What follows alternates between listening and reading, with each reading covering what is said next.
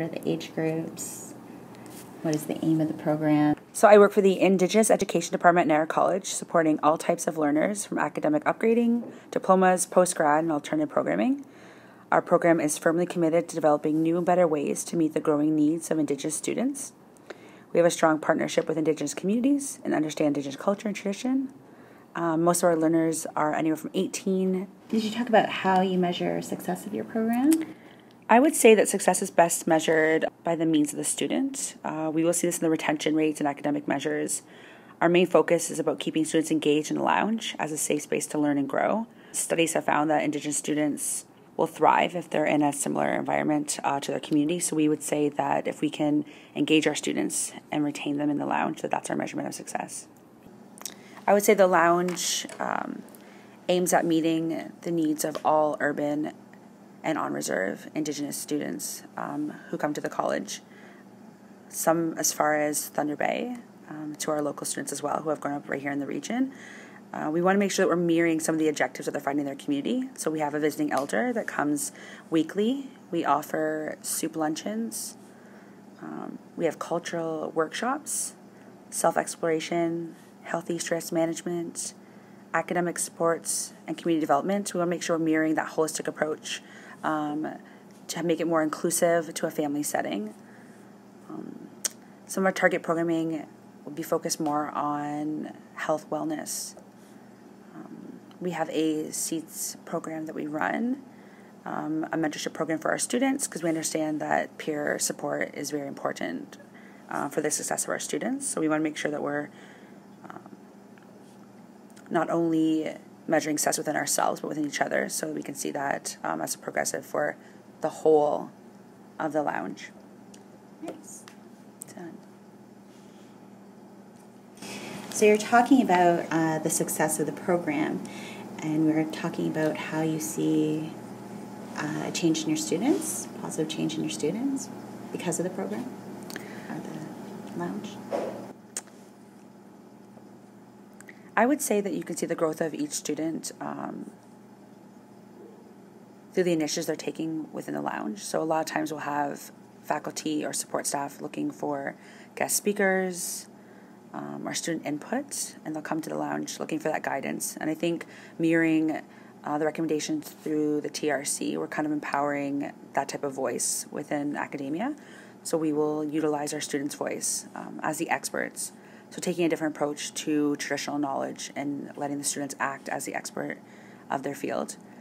Uh, this is empowering to them. Uh, this is an opportunity for the college to learn a different way of understanding knowledge uh, and it's a way in which we see growth of our students to kind of um, tap in to that type of knowledge they've been given from their ancestors um, and bring it into the setting. That's really cool. Very cool. Another question that we have here is what challenges have you faced and how have you overcome them to make the program success?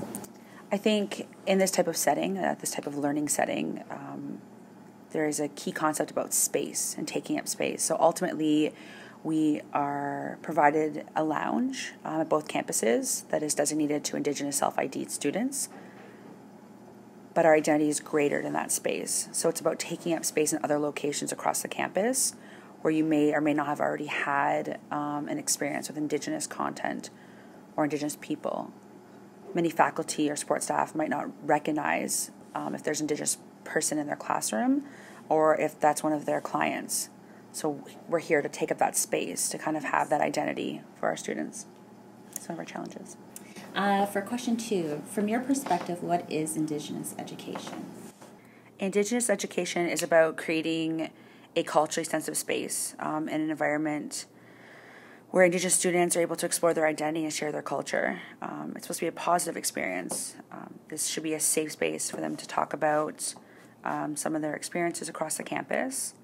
Ultimately, majority of our students um, are taking that perspective of two-eyed seeing, living within two worlds, whether they're just coming into their culture or whether they're challenging Western ideology.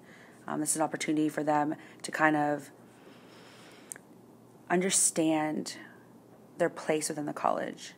There is a subculture that's already in place here. It's up to them to kind of find out where their identity meets. We focus highly on the cultural components um, within the lounge that keep them safe, smudging, having a circle, meeting with the elder. So these are all important to uh, important aspects of Indigenous education. What is your vision for Indigenous education over the next 10 years? Over the next 10 years, I hope to continue to be the bridge between Indigenous education and the larger campus culture, um, to empower students to take risks and challenge the norms, um, to foster a more inclusive academia. Right now, we hosted our second annual Indigenous Awareness Month. We've hosted film series, um, different workshops. Um, we're looking at more signage, more visibility. Um, for the next years, it's, it's, more about bringing Indigenous education to the greater parts of the campus so that when Indigenous students are in um, academia, they're able to see themselves more visibly.